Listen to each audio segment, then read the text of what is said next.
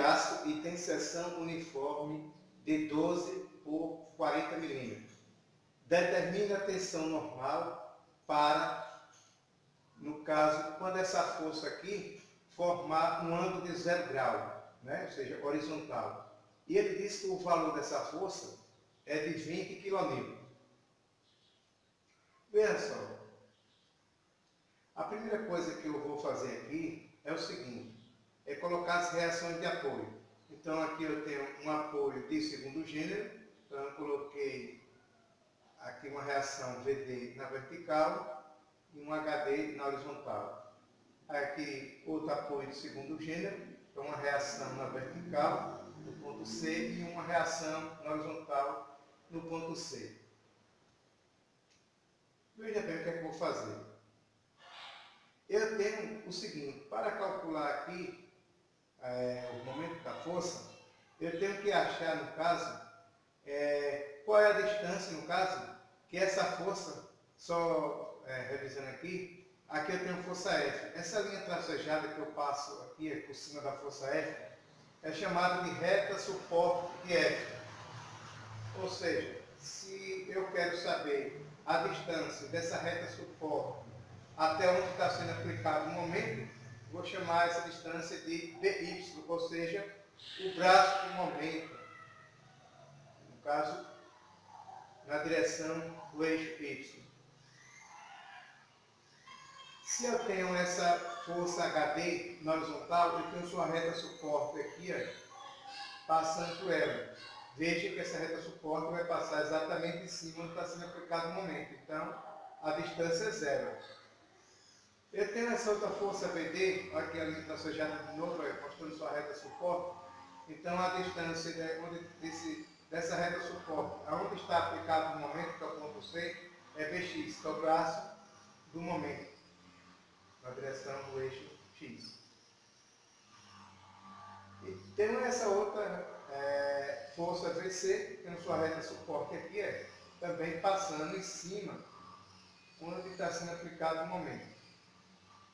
Então, o que é que eu vou fazer? Eu vou aplicar a trigonometria, né? Seno e cosseno, para descobrir o braço do momento.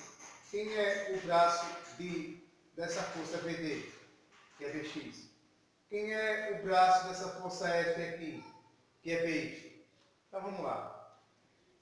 Seno de teta é cateto oposto sobre hipotenusa. Quem é teta? Um ângulo formado, 30 graus. Quem é o cateto oposto? Que é esse lado que está na frente do ângulo aqui, ele vale quem? BY. E quem é a hipotenusa? Ó, a hipotenusa é isso aqui, ó. Daqui até chegar aqui. 300 mais 150, 450. Multiplicando aqui cruzado, BY é igual a 450 vezes 130. 450 vezes 130 vai dar 225 milímetros dividido por mil, então PY é igual a 0,225 metros. Usei, no caso, a calculadora fixa para três casos. Aplicando aqui agora o cosseno, né? cosseno de θ é igual a cateto adjacente sobre hipotenusa. Cosseno, o ângulo aqui foi 30 graus, que é igual. Cateto adjacente vai ser esse aqui, né? Bx, sobre a hipotenusa. Veja que agora a hipotenusa só vem até aqui, então vai ser quem? 300. Fazendo aqui as contas, bx vezes 1, bx, e 300 multiplica cosseno de 30. bx é igual a 300 vezes cosseno de 30, que vai dar 259,8 milímetros.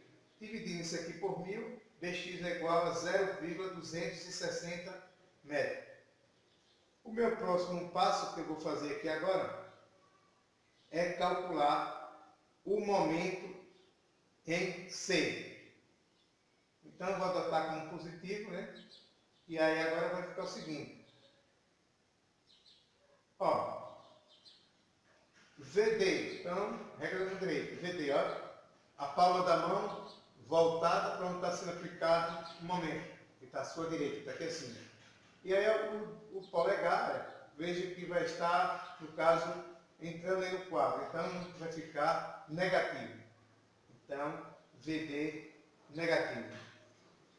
Então, momento é força vezes deslocamento. Então, VD, qual é, qual é a distância, ou seja, aqui é o braço dessa força, a distância onde essa força está sendo aplicada, aqui sua reta suporte, a distância reta suporte dessa força, até onde está sendo o momento, BX. E quem foi BX que você encontrou? 0,260, ou seja, 0,26. Substituir. É... Aqui você vai ter a outra força, que essa aqui é HD, Olha, sua reta suporte vai passar exatamente em cima do ponto, então não vai ter distância, distância vai ser zero, desaparece. Depois vem essa aqui, ó. a força, né? que essa aqui foi dada, aqui é paralela. Então, de novo, você vai colocar a palma da mão, no caso agora vai ficar assim, ó, voltado porque vai ficar aqui embaixo. Então, você olhando aqui, o polegar vai entrando aí no quadro, no plano, então negativo também. Força vezes Agora veja bem, aqui está a reta suporte da força. Qual a distância dessa reta suporte até onde está sendo aplicado o momento? Que é o BY. Olha, você acabou de calcular o BY, que foi quem? 0,225. Olha lá. Substituir 0,25. Depois vem aqui no caso HC. A reta suporte HC, veja que passa exatamente em cima do ponto. Então não vai ter distância. Distância é zero. Então ela desaparece. A outra força que eu tenho aqui é VC. VC, no caso, ela passa exatamente no ponto, sua reta suporte. Então também não vai ter distância, a distância vai ser quem? Zero. Então desaparece. Então ficou somente quem aqui? Menos VD vezes 0,26, menos 20 vezes 0,225. Menos 0,26 VD, menos 20 vezes 0,225, 4,5 menos 0,26. VD é igual, passa para lá é positivo, 4,5. Aqui não pode ficar negativo porque implica menos 1. 0,26 VD é igual a menos 4,5. Quem é VD? Menos 4,5, aqui está multiplicando, passa para cá dividindo. Menos com mais dá menos 4,5 dividido por 0,26, vocês vão encontrar 17,31 quilonewton. Como foi um resultado negativo, significa que eu adotei VD errado. Então vai ser o contrário. Então é para baixo. Coloquei aqui. Agora, achando aqui a, o somatório das forças no eixo Y, adotando para cima como sendo positivo, vou pegar minha seção aqui cortada, vou colocar aqui ampliada. Então aqui nesse ponto K, que é da seção, onde eu cortei ela.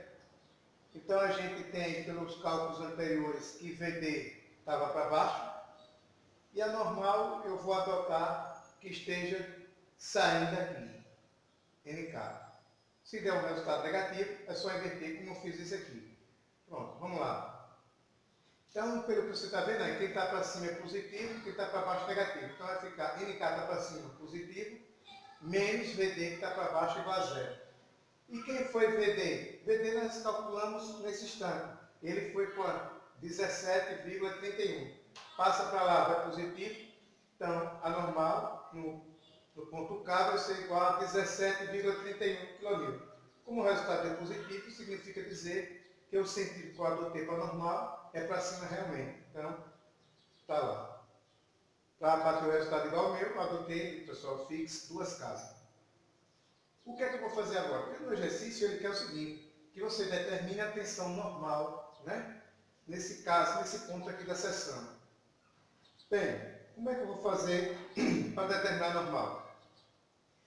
Então, aqui a gente, a tensão. Pessoal, como é que eu vou fazer? Tensão é força sobre área. Eu quero saber a tensão na barra BD, que é essa daqui. Então é igual a força. Qual é a força que vai estar atuando aqui nela aqui? O esforço interno é quem? é a normal, né? NK. Então, coloquei aqui, sobre a área.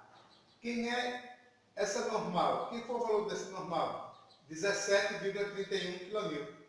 Transformando para Newton, é só multiplicar por mil. Então, vai ficar 17.300 Newton. E essa área? Como é que faz para calcular a área?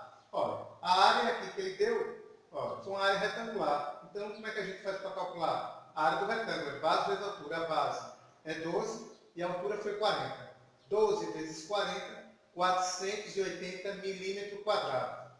Posso transformar isso aqui para metro quadrado, onde tem m prefixo mili, né, significa 10 a menos 3. Repete a letra m, tudo isso está elevado ao quadrado. Então vai ficar 480 vezes 10, tirando aqui o parênteses, ó, menos com mais dá menos, 3 vezes 2, 6. Aqui não tem ninguém, tem 1. 1 vezes 2, 12. Então a área desse retângulo é 480 vezes 10 a menos 6 metros quadrados. Substituindo aqui, então agora é só você fazer a conta. 17.310 dividido por 480 vai dar 36,1. Usei o fixo uma casa. Vezes 10, está aqui no denominador, passo para o numerador e troco o sinal, fica positivo. 10 a sexta. Newton por metro quadrado. Logo, a tensão DD, nessa seção aqui, é igual a 36,1, onde tem 10 a sexta, é o prefixo mega, e 1 mil por metro quadrado é um pascal. Muito obrigado, pessoal.